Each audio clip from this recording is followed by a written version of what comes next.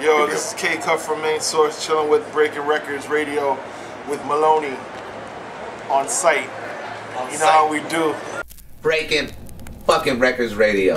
And another funny thing about you actually saying that about Tribe is, um, I don't know if you guys are familiar with the dude Mike Boogie from Oshawa, Toronto.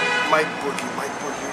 Why does his name sound so familiar? It probably does, but one thing he informed me of the first time I ever interviewed him, one line he told me about was the K Force main source LP on the rise. Yeah, yeah. And that's yeah, a reference yeah, to you, if I'm not mistaken. Yeah, yeah. The remix.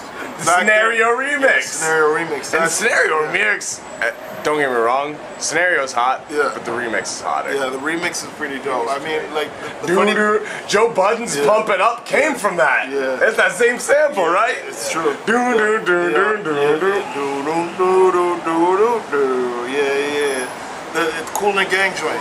The thing about it was like, for us, it was just like back then, like we were always touring together. Like whether it's Tribe or, you know, us in De La or us in Tribe or us in Brand New Nubians.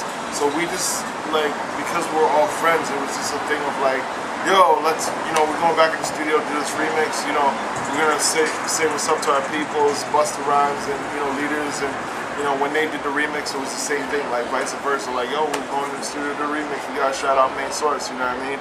Because that's the way we did, you know, back then. You know what I mean? We just like, just you know, hype each other up. It was a, like a click thing, you know what I mean? Yeah. So yeah, it was it was all love, man.